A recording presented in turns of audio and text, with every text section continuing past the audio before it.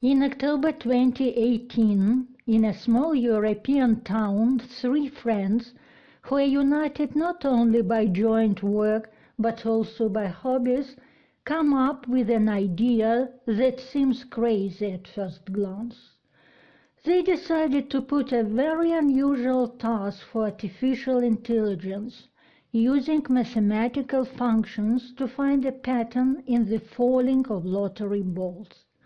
After all, each of us thinks that this process is purely random, and it is this statement that three young people decided to refute or prove. For this, a special computer program was created that analyzed the results of previous runs, built graphs which were subsequently subject to careful analysis. They had several computers at their disposal which worked around the clock trying to find the answer to their task.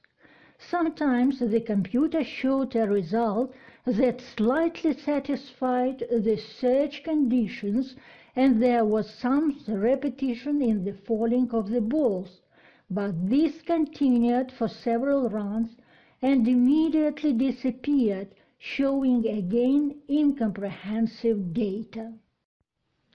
At such moments, comrades had to analyze the results obtained and change the calculation algorithm. Every day, one of the three friends had to look at the results of the computer program for the past day. Some of the results were not interesting and the program was run further and what was of at least some interest was subject to mandatory analysis. This went on for about two years and all to no avail. The thought was already creeping in to stop this experiment and agree with everyone's familiar phrase that the falling of balls in lotteries are random. And then one day something happened that everyone had been waiting for. The calculation result exceeded all expectations. One of the computers showed its calculation result.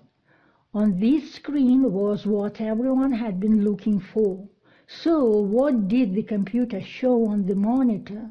Let's look at everything with a simple example.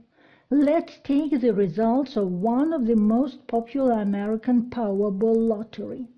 Let us present these results in the form of a table which will clearly show us which balls dropped out during each draw. Now let's dwell only on the first ball and see how it behaved. It can be seen that it took the values 9, 2, 11, 20, 39, 3, etc. Now, if we plot a graph with the same data, we will clearly see that the ball took its values moving chaotically, then jumping sharply up, then falling down, and in these jumps there is no pattern, only chaos and disorder. This is the very well-known phrase that the falling of balls in lotteries is of a random nature. It is simply not possible to predict or calculate its future behavior. But that was only until today. If you process this chaotic graph of the behavior of the lottery ball using the found mathematical formula, you can get a completely different and understandable graph of the behavior of this lottery ball. The resulting figures or the trajectory of the ball, the points of which are at constant levels, give you the opportunity to understand which figure is being built over several draws and accordingly which point will be in the next draw. It sounds fantastic, of course, but after conducting a detailed analysis on several lotteries, friends could not believe what they found. Doubts were dispelled faster and faster and the mathematical analysis, which was carried out several times to make sure that the calculators were correct, said only one thing, the calculations were correct. But this was not enough for friends, and they decided to show their calculations to one mathematics professor who taught when they were at university. After demonstration, his calculation algorithm with several examples, the professor gave an analogy thanks to which friends saw the scale of their discovery. The analogy sounded like this. Imagine this situation. You are flying blindfolded in an airplane over the Pacific Ocean. Fly for an hour, an hour and a half, two, and suddenly you decide that right now, at this minute, you open the window, stick out your hand in which there is a needle, and release it. It flies down and after a while falls into the ocean. And only after that you inform the Coastal Service that they can begin to search for the needle, while not knowing where and when it was released from your hand. So, friends, you are the Coastal Service that managed to find this needle in the Pacific Ocean. The professor's words addressed to three comrades have finally proved that the mathematical phenomenon discovered by them can be safely applied in life. So, what practical application of this phenomenon are the friends going to implement in the near future? The first thing they have already done is to create their own YouTube channel Artificial Intelligence Plus Lottery, where they explain in more details how the algorithm works, and everyone can come in and get acquainted with, with this phenomenon in more details. In the second step, they plan to create a mobile application that will analyze several popular lotteries in the world using this calculation algorithm and give out the option that is most optimal for the future draw. But with the implementation of this, there is a fun financial problem since for the development of such an application and its promotion, the developer AT company announced the cost of its services. And our heroes do not have such a sum, and therefore they made a decision that is clearly different from all known ones.